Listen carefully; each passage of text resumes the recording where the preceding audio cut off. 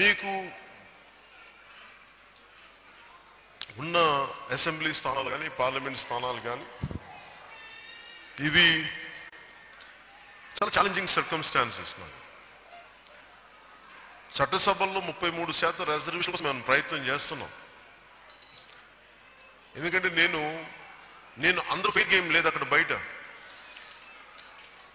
రెండు వేల తొమ్మిదిలో ఏ కులాలకి ఇది లేదని చెప్పి మేము అందరం ఒక నిర్ణయం తీసుకొని ఆ రోజున ఒక యానాదుల జాతికి చెందిన శ్రీ తుపాకుల శ్రీమతి తుపాకుల మినమన్ గారిని పెట్టినప్పుడు ఆవిడ గెలవలేకపోయింది.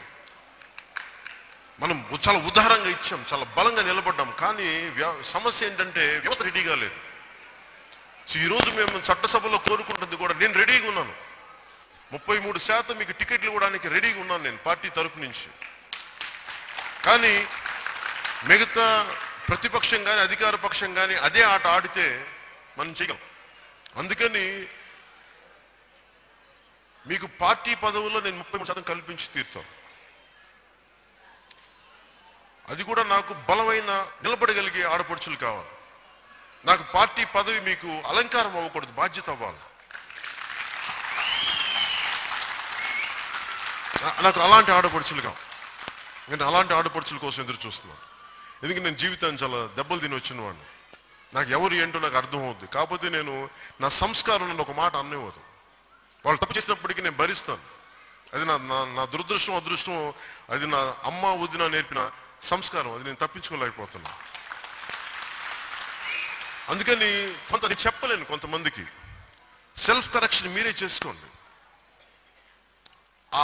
అది మేము తప్పు చేస్తున్నాం ఎక్కువ మాట్లాడుతున్నది మీకు మీరే చేసుకుంటే అధికారం ఎలా ఉండాలి అంటే గుర్తింపు ఎలా ఉండాలి మిమ్మల్ని వెతుక్కొని వెనకొచ్చి వచ్చి మీ భుజం మీద వాళ్ళ అధికారం. అలా రావాలి మీరు అని కోరుకుంటున్నాను అందరికీ ఒకటే రికి అంటే నేను అన్నది నేను ఈ రోజున ఒక పన్- ఒక మంత్రి పదవి తీసుకున్నాను. ఒక పార్లమెంటేరియన్ మెంబర్ని కాదు ఒక అసెంబ్లీ మెంబర్ కనీసం నేను ఒక వార్డు మెంబర్ని కూడా కాదు.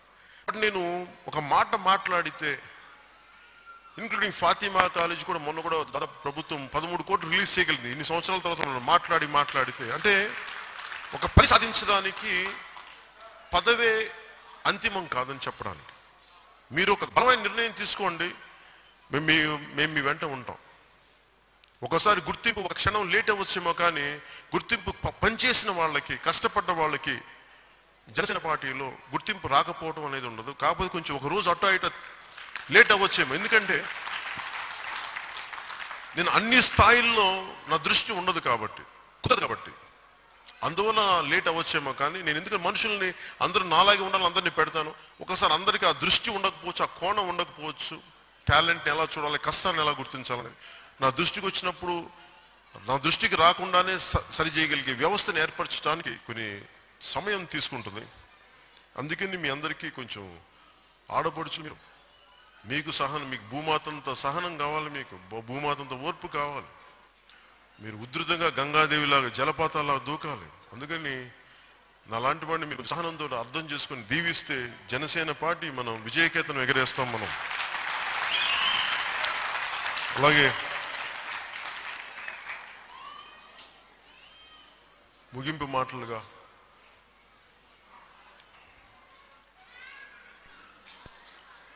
మీ అందరి తరపున ఈ రెండు వేల పంతొమ్మిది ఎలక్షన్స్ ఒక పార్టీని ముందుకు తీసుకెళ్ళడానికి నా పక్కన ఎవరు లేరు.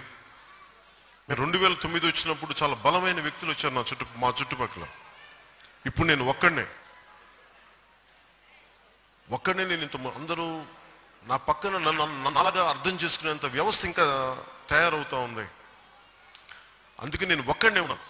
మీరు కొంచెం కనికరం నా మీద దయ ఉంచి కనికరం చూపించి మీరు ఈ వ్యవస్థ పా- జనసేన పార్టీ వ్యవస్థ నిర్మాణానికి మీరందరూ ఒక్కొక్కరు మనస్ఫూర్తిగా సహకరించవలసిందిగా మనస్ఫూర్తిగా సహకరించవలసిందిగా మనస్ఫూర్తిగా కోరుకుంటున్నాను. మీకు నేను అండగా ఉంటాను.